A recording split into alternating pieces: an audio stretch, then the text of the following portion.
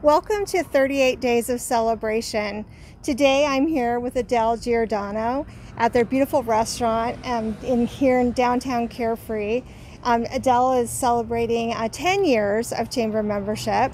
And I have to say, Adele has been um, such a, a, partner and a blessing to the chamber.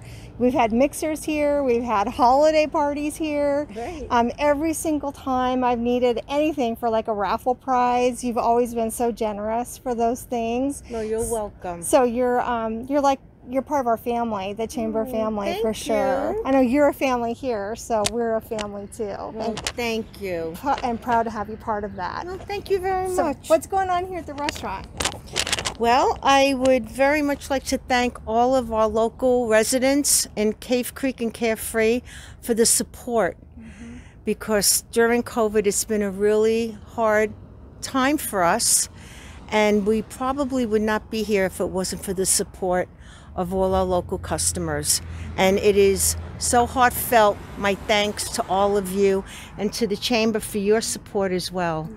Um, I really appreciate everything, and I love Carefree. We are here a while. We're family owned, and we work hard, and we just hope to be able to survive through all of this. So, thank you. You're welcome.